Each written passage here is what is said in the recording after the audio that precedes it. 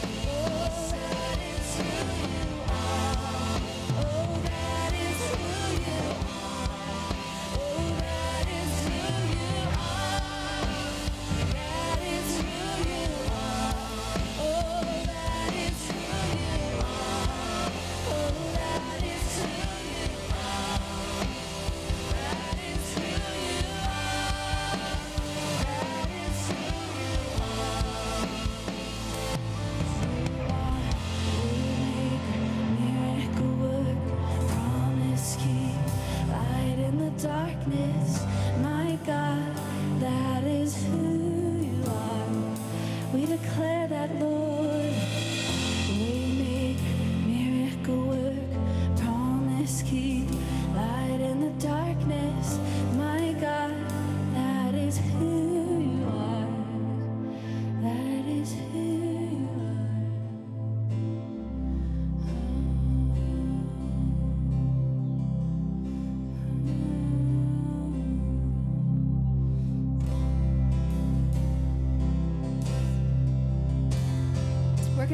you song this morning. Why don't you sing along with us? I searched the world, but it couldn't fill me. Man's empty praise and treasures that fade are never enough. Then you came along.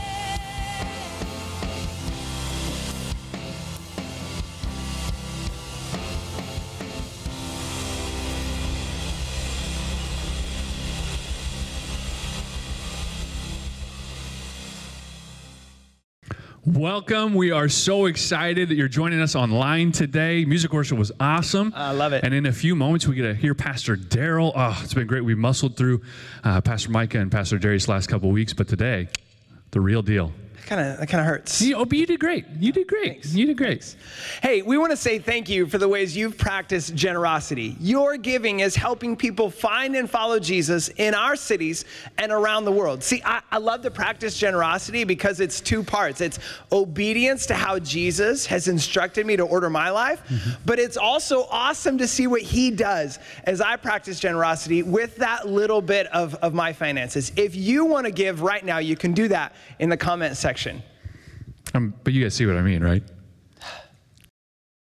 Thanks for joining us today. Stick around till the end of the message because I have two critical information items that I want to share with you, and I hope you'll be able to hear them today. You know, we have four children. Gail and I have been married 41 years and uh, four kids. Many of you know them, but we've always wanted our kids to succeed. I mean, I think every parent does, right? They want their kids to succeed and kind of move ahead and so on, to be in a position to come out on top and have confidence and so on. So, whether in games, which we played a lot of games, we homeschooled, we did a lot of games and teaching our kids, uh, whether it's education, maybe sports, whatever it was, life, we did what we could to help them oftentimes behind the scenes. They didn't even realize what we were doing to help them in this process of getting ahead in life. Why? They were our kids. They were our kids. They're Johnsens. Uh, you know, we're endeared to them, their families. So we had their best interest in mind, even though they may not have felt like that at times we always had their best interest in mind. And uh, it doesn't mean that we manipulated everything and, and caused it so that they always won, that they always succeeded, because we recognized life is not, you're not always going to win. You're going to have problems. You're going to have times that are difficult. So you need to be prepared to win, but also sometimes to lose, sometimes to fail. Sometimes it was necessary that they experienced life and uh, decided for themselves. We wanted them to learn to decide for themselves and also to learn to live with the consequences of some of those decisions. But uh, when, when it was within our means, uh, certainly we were behind the scenes doing what we could to guide them, to protect them, to prosper them. I remember our oldest, Brent. If you know Brent, he's always been a competitive guy and, and he loved to win. He was very competitive, whether in a game of basketball or a board game or whatever it was. And I would play along, or we'd play along, and I knew the rules better. I knew strategy better than he did at that young age. I knew the pitfalls of doing this move rather than this move. And, and so I just sit quietly. And when he was younger, I would try to set him up for the win. I'd set him up for the win. I wanted him to be a success in it.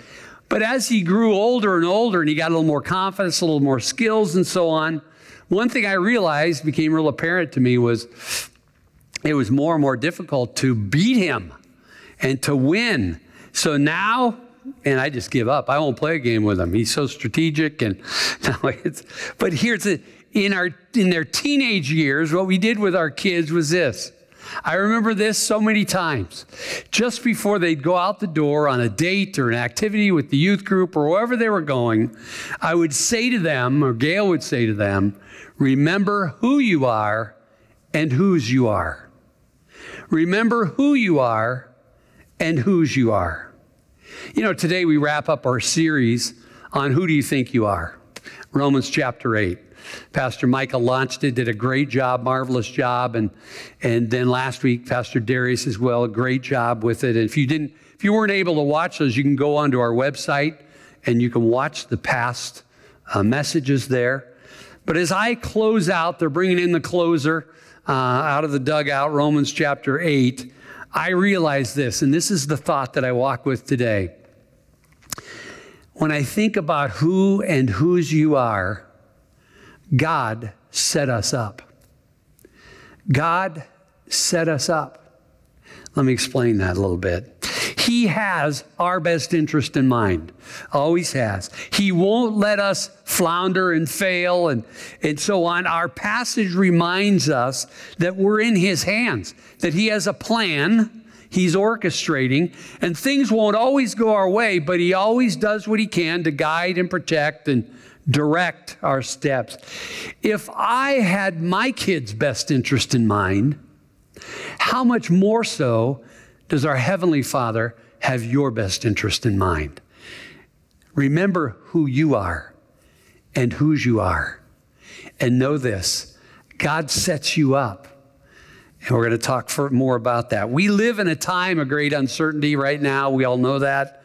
And there's a fear of the future that seems to be all around us. And some people, some maybe here today as you're listening, watching, you hold some of those fears and you're anxious. And we've talked about that. If you asked me a couple of months ago, if I would never have predicted that we'd be in a situation we're in today. I'd never heard of COVID 19. Uh, I didn't know what the coronavirus was. I thought it was a bad drinking problem, probably. But uh, anyway, we've, we've had great scares before as a country, as a people. I mean, some of them you remember, some we don't. The Spanish flu, nah, most of us wouldn't. H1N1, yeah, okay, that's a little more familiar the Ebola virus, these we get, the AIDS virus, we get these. We've heard some of these names.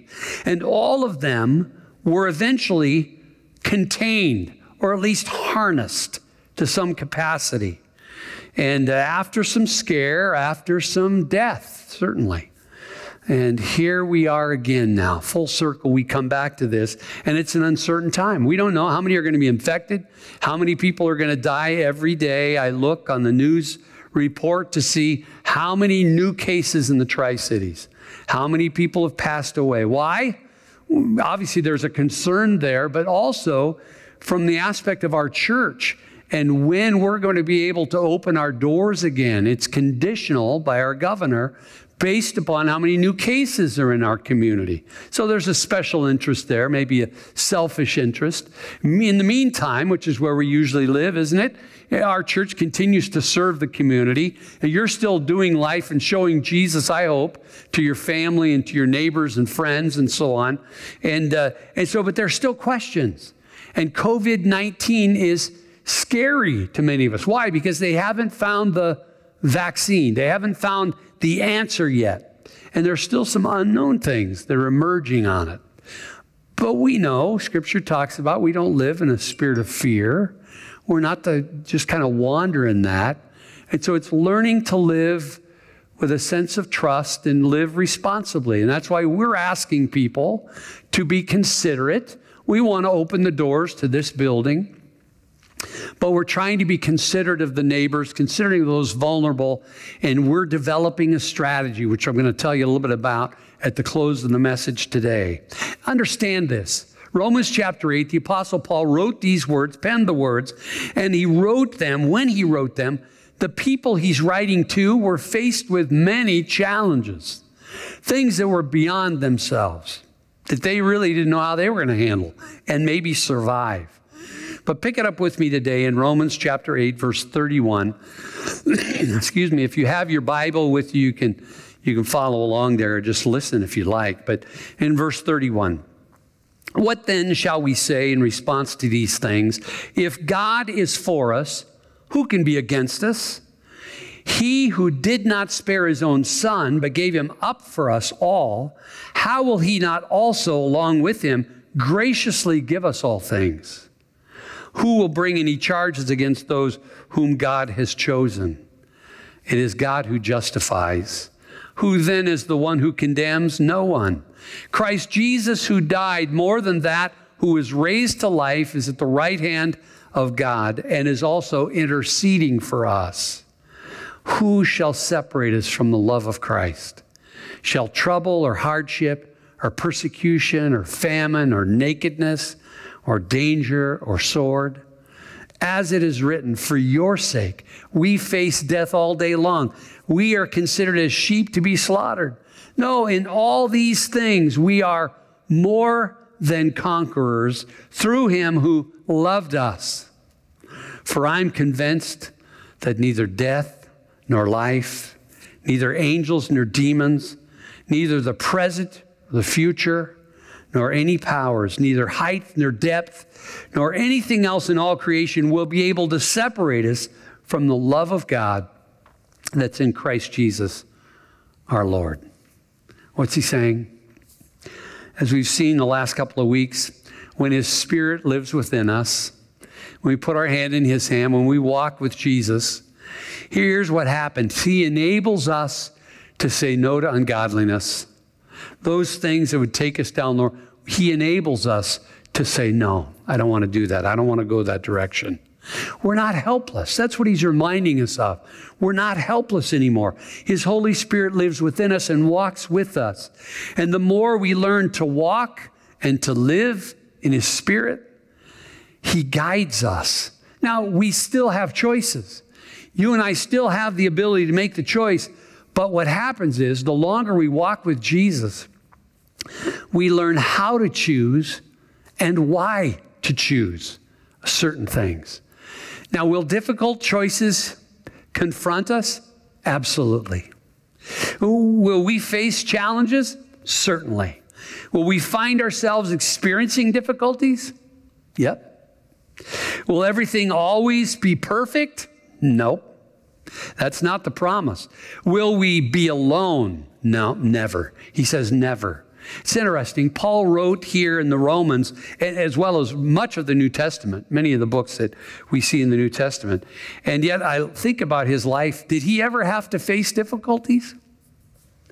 Did uh, he experience things that didn't seem right, weren't fair? Were there things that he fully didn't understand at the time? Were there times he felt alone? Yes to all of these, but he came to a place in his life and in his walk where he knew who he was and he knew whose he was. And it was as he learned to walk and not simply focus on his circumstances and situations on earth that he began to develop a perspective. And it's that perspective that helped to guide him through his life. And in turn, then, to pen the words that would guide us through our lives today. this is why he could say what he says in Romans 8:28, a verse that's become a favorite to many, although oftentimes misquoted and misunderstood. But look at what it says. All things work together for good to those who love God and are called according to his purposes. All things work for good. It's not conjecture. It's not happenstance. It's not, well, perhaps it will. It's not maybe. But it's an ironclad certainty, an affirmation of God's word. He, is, he will set you up. He will help you. Now, it's often misquoted. He didn't say all things are good that happened. No, it doesn't say that. Rather, that even in the midst of difficulties, that's what he's trying to give the backdrop. Even in the midst of difficulties, God can orchestrate it for, He can bring it about good in your life, and He can bring it for good in your life. He'll develop your character through it. He'll develop, maybe help shape some values in your life. He'll help you gain a new perspective or set of lenses that you look at situations in. Even in my poor choices, even in struggling through the consequences, I have a confidence He has my best interest in mind. And He's working behind the scenes to set me up in a positive manner for His kingdom. God will cause everything in our lives to become beneficial, spiritually profitable, useful helpful good for us. And God allows everything in our lives for one of two purposes. Let me share with you. Either to bring us closer to Himself or to mold us to be more like His Son. And you see, sometimes we forget this isn't the end here. This isn't our home. That's why Scripture refers to it like this He says, We're aliens look at the person sitting next to you in your home and say, Yep, I know. Yeah, but we get it. I mean, we're aliens, someone that are in a place that's not really where they're supposed to be, or they're not intentionally there. That's not their homeland, if you will. And so here's what the Bible calls it. It says our lives are like vapors. And why does it say that?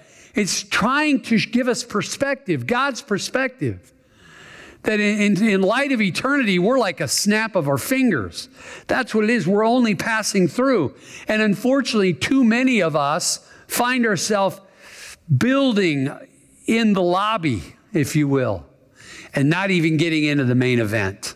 It's kind of like Disneyland. Many of you have been to Disneyland. You know, the first time I was Disneyland, I was just a little guy, and we came through the gates. And I remember you come into that little city, community, walkways, and I was just in awe.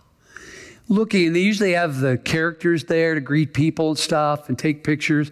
And I remember being there thinking, this is incredible, Disneyland, we're here. Little did I know, this is just the lobby. This is just the entry. There's so much more beyond that. Paul says elsewhere, this is what he said, in fact, in Ephesians 3. In spite of all the stuff going on in his life, the pain, the injustice, all these things. He says this in verse 16 I pray that out of his glorious riches, he may strengthen you with power through his spirit in your inner being, so that Christ may dwell in your hearts through faith.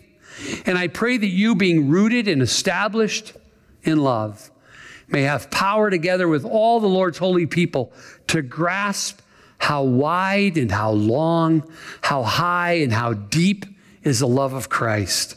And to know that this love that surpasses knowledge, that you may be filled to the measure of all the fullness of God. And then he wraps it up in verse 20, what we often use as a benediction. And it says, Now to him who is able to do immeasurably more than all we ask or imagine, according to his power that's at work within us. To him be glory in the church and in Christ Jesus throughout all generations, forever and ever. Amen. You see, how could he say that? He had learned the benefit of keeping his eyes at the end on the goal. He learned the prize and the, the goal at the end was what he needed to focus on, not the circumstances, not the situations. He knew whatever happened here was temporary, and in light of eternity, it was meaningless. God has so much, much more in store for us. When this was written, the first century church Christians often fought diligently for physical and spiritual survival. They were oppressed. There were things going on all around them, and hardships caused them to wonder and doubt. And even if, if their newfound faith would be defeated, what's going to be the end result? And I think that's why in Romans 8, Paul assured them that you're going to face trials. Be aware that you're going to face these things, but God will bring you through. He'll set you up for a win in the end. And uh, there were crucial moments in Paul's life, certainly, when he faced those things. But when it reminds us as we read those that when we feel defeated, when we're wronged, even when we're doing the right thing, Paul told them, God's got your back. God's setting you up. He's on your side.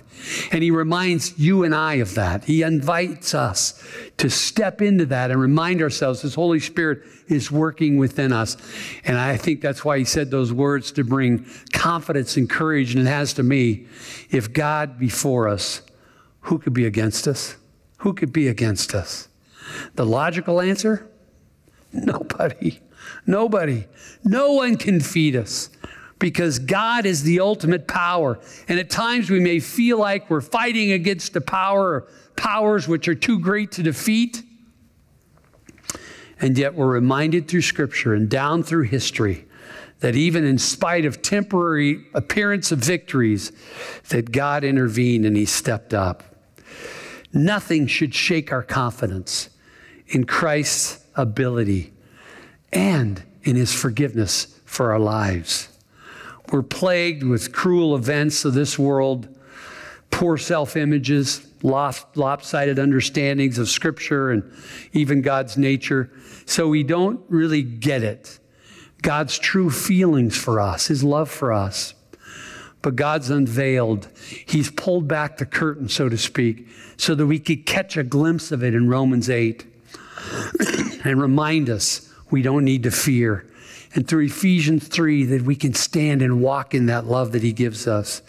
And not even death or angelic beings or time or distance or anything else in all creation shall be able to separate us from the love of God.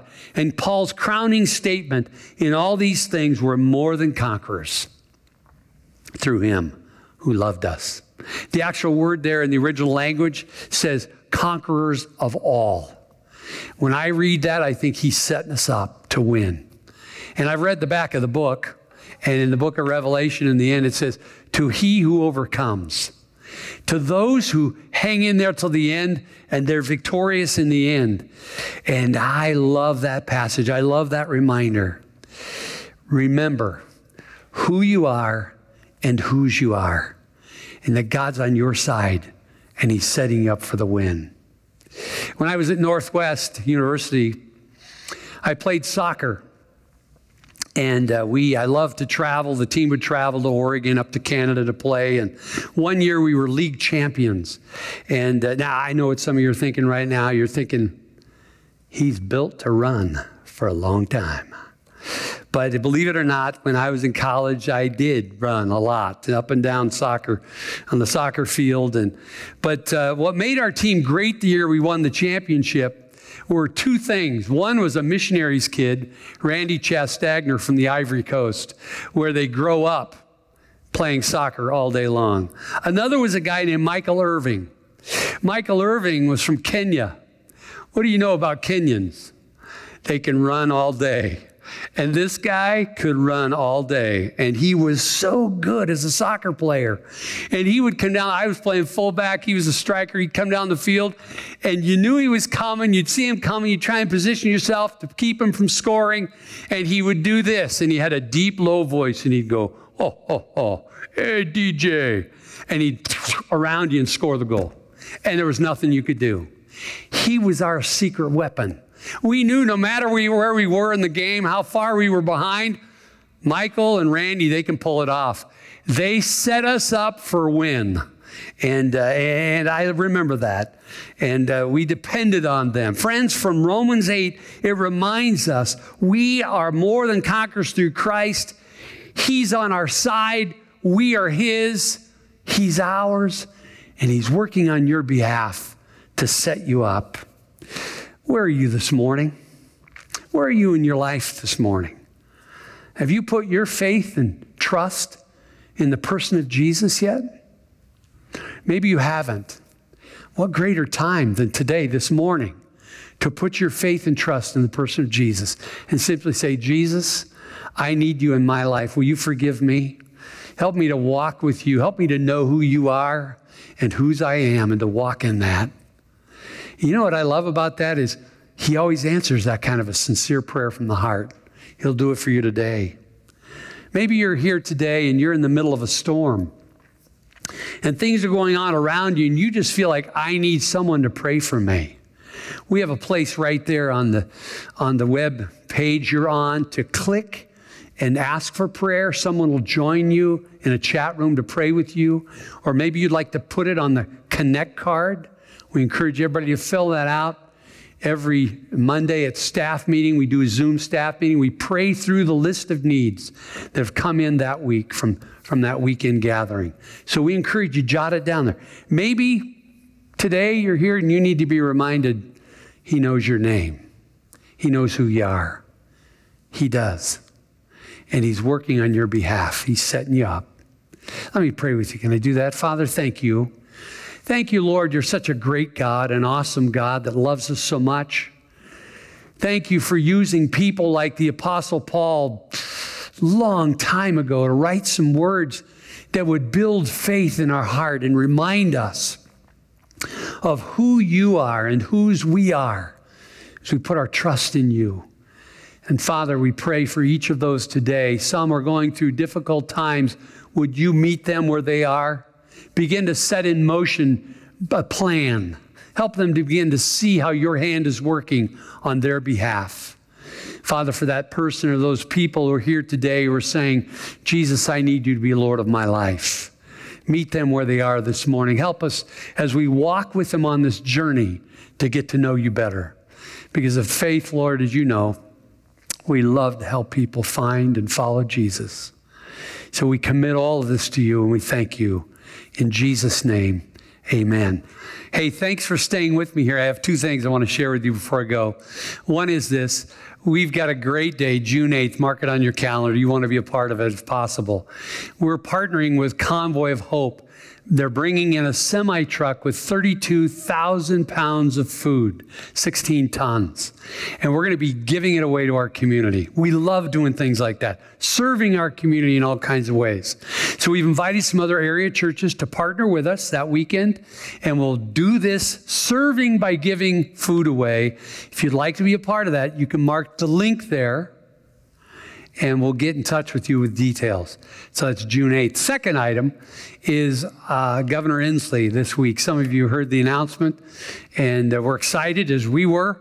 He's opened a window, not a door. He's opened a window, though, so that we can gather together 100 people outside. And so we're planning on Sunday, June 14th, to gather out in our field. We'll have 100 people there we can also have people in cars. So if you're not one of the hundred that get to sit outside social distance with your lawn chairs, we're going to have a live worship band. The message will be there and so on. You can sit in your cars and we'll pipe it in via the radio, the FM radio station. So it's going to be an exciting day. We will have online gathering as well. So it's not an either or, it's both and. So plan to be a part of that great weekend. It's going to be awesome. God bless you.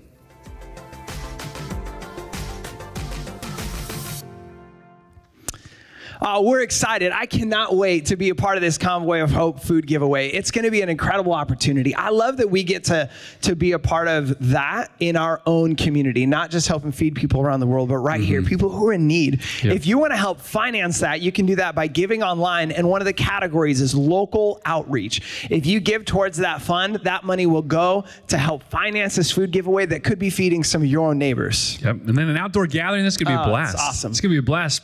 Get out the lawn chairs, the little picnic blanket, whatever it is. We're going to have some more details coming to you in the next couple weeks. So make sure you mark June 14th. Don't miss it. It's going to be amazing. We'll see you soon.